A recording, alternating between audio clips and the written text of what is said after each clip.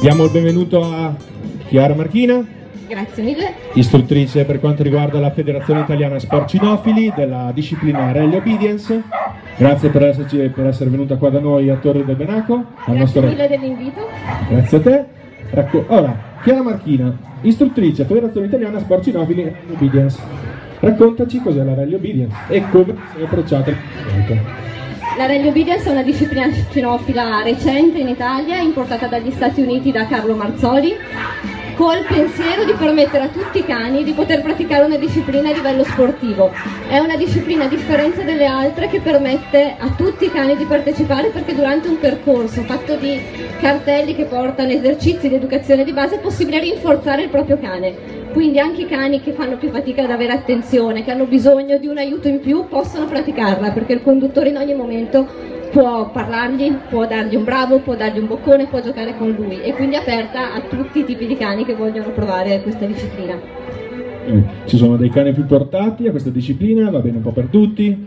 Nella realtà va bene per tutti perché anche i border collie che sono fortissimi su altre discipline in queste ogni tanto fanno un po' fatica perché sono troppo veloci, quindi perdono a volte in precisione. Quindi abbiamo trovato una disciplina dove, dove i colli hanno problemi. Esatto, poi Eh, vi farò vedere col mio border Ogni tanto capita che un colli ha un problema in una disciplina. guarda. Bellissima sta cosa.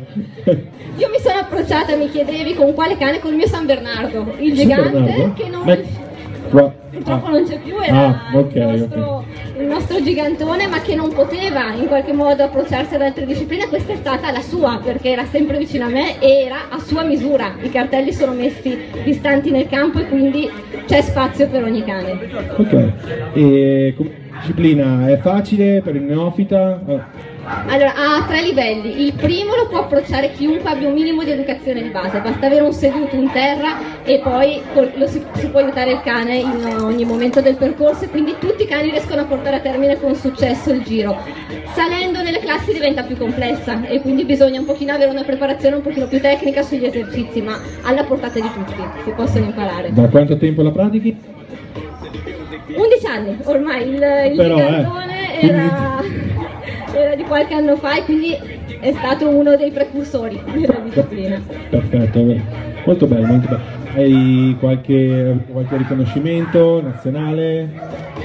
Qualcosa? Allora, per adesso i campionati che si sono tenuti sono riguardato il campionato italiano e negli ultimi anni il nostro Golden si è sempre piazzato secondo- al secondo posto nella ca- È- è qui Coppa oggi? Italia. Sì, sì, sì, lo vedremo in campo.